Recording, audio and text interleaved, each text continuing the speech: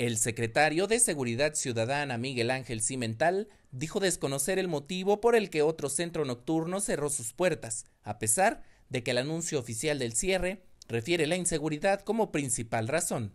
Lo anterior, luego de que en menos de un mes al menos dos bares hicieron pública la suspensión de sus labores debido a la delincuencia.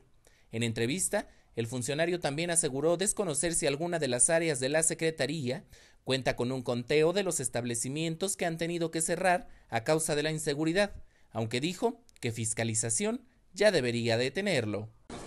Bueno, es que no sabemos cuál fue el motivo. Salió en la prensa, pero no sabes cuál fue el motivo por cuál cerraron. Nada más los dueños sabrían cuál, cuál es el, asunto. Pues sí, pero yo no traigo el tema. Necesitamos platicar con los dueños del qué, qué fue lo que ocurrió. Miguel Ángel Cimental comentó que ya se ha reunido con varios sectores empresariales, quienes han externado su preocupación, aunque dijo que cada quien tiene un problema diferente.